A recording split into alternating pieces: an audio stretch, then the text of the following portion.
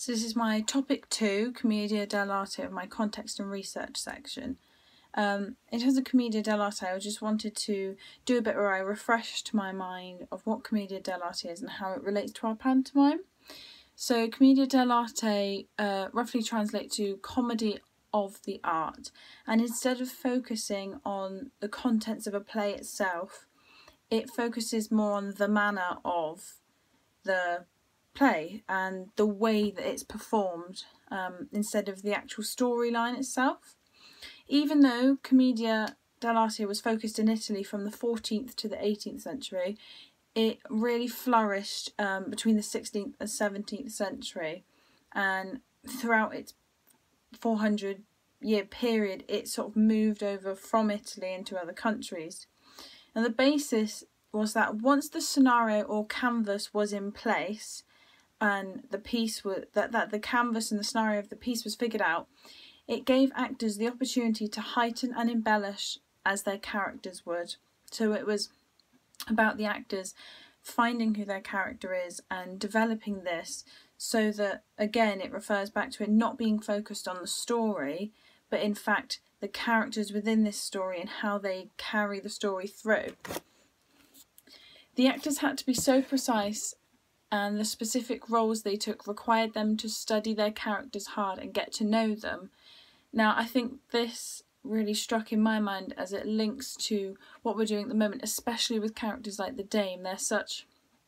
residential and um, classical panto characters that they can't be played lightly. You've got to know exactly who they are, why they're who they are, and it's sort of like this 3D um, structure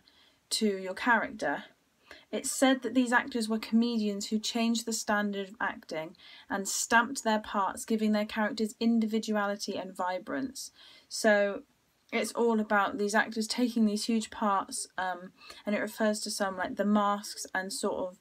these really key residential parts and developing these so that they are individual but within this huge big story. Um, Commedia dell'arte was said to have introduced the professional actor to Europe,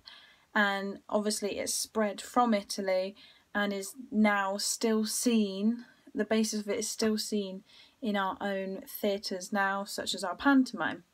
So, in terms of what I took from this information, I think that to me, this just meant that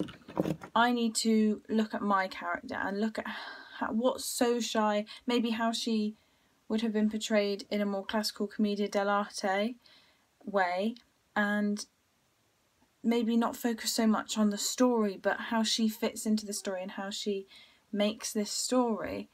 And in terms of my own work, I want to make sure that this is resonant resonating in my own work. So what I'm going to do is sort of make a mind map um, of Soshai and her character and sort of get this structure of why she is the way she why she acts the way she is who she is her personality traits why she has these personality traits um, going alongside with the context of Aladdin and her within the piece but without making it about the story but more about my character within the story and the individuality of her and maybe looking at other characters like the Dame, which, as I said, is a really residential and key part of pantomime.